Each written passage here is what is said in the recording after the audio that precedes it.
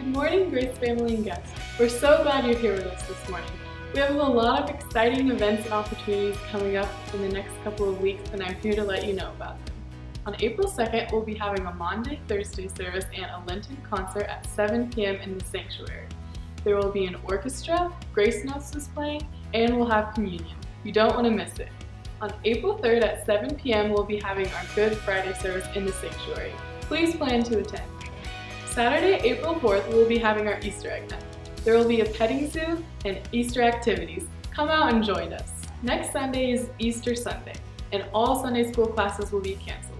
We have a 6.30 a.m. sunrise service in the East Lawn, a 9.30 contemporary service, and an 11 a.m. traditional service. Plan to join us for the annual Deacon's Breakfast in Greeless Hall between services starting at 10.30 a.m. If you would like to volunteer for a Minnie's Workday on April 18th, you can sign up for your connection card. Also a reminder, we're still collecting rice and beans through April 12th. Please join us Sunday, April 19th from 4.30 to 6 p.m. in the sanctuary for our very first biannual session informational. We will be discussing vision updates, denominational issues, and there will also be a Q&A time. Immediately following, there will be a dinner in Greeless Hall. Please RSVP on your connection card. Childcare will also be provided. That's all for this morning. If you're interested in any of the things I mentioned, you should fill them out on your connection card later in the service.